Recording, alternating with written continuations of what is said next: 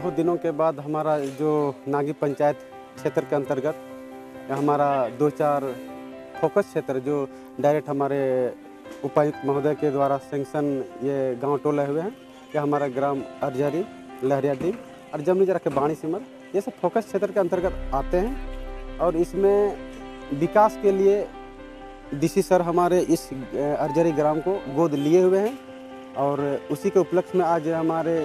इस अर्जरी ग्राम में नागी पंचायत के अर्जरी ग्राम में जनता दरबार सा विकास मेला का आयोजन किया गया। इसमें हम लोगों के माध्यम से अगल बगल जो फोकस क्षेत्र के अंतर्गत या पूरा पंचायत के लोगों के बीच में हम लोग जानकारी देने का काम किए। और हमारे बीच जितना भी जनताओं ने आकर के अपना समस्या, विशेष रूप से राशन कार्ड, पेंशन संबंधित, है ना, उसके साथ साथ में हमारे सोलह विभागीय जितना थे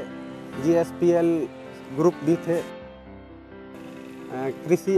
प्रखंड स्तरीय एग्रीकल्चर विभाग भी थे। मतलब जितना हमारे विभागीय पदाधिकारीगण थे, सब कुछ उपस्थित थे और हमारे जनता लोगों को जो समझ में नहीं आई, हम लोगों ने उसको कोऑपरेट करते हुए उस जगह पे उन लोग को ले जाने का काम किया और बढ़िया विस्तार, हम लोग से विस्तार उस विभागीय पदाधिकारी से जानकारी उनको मिला। अभी जगह जगह में जनता दरबार लगने से जो ज़मीनी स्तर के गरीब लोग हैं उनको इसके माध्यम से, जनता दरबार के माध्यम से उनको अपना जो अधिकार मिलना चाहिए। जैसे राशन के माध्यम से हो, पेंशन के माध्यम से हो, या अन्य जो सरकारी जो उनको मिलना चाहिए फ़ायदा,